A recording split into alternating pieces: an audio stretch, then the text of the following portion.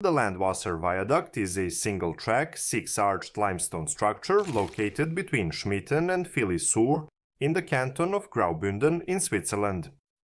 It spans the Landwasser River and is a signature structure of the World Heritage listed Albula Railway, owned and operated by the Rhaetian Railway. Designed by Alexander Acatos, the viaduct was built between 1901 and 1902. Standing at 65 meters high and stretching 142 meters long, it features a highly pronounced curve with a tight radius of 100 meters, which adds to its appearance. The viaduct is supported by six arches, each 20 meters wide, resting on five tall limestone pillars. Its masonry consists of roughly 9,200 cubic meters of dolomitic limestone.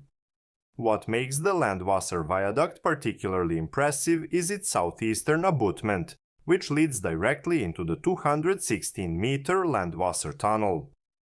The tunnel's entrance is carved into a vertical rock face seamlessly aligned with the viaduct. This perfect integration of bridge and tunnel was a significant architectural and engineering challenge during its time.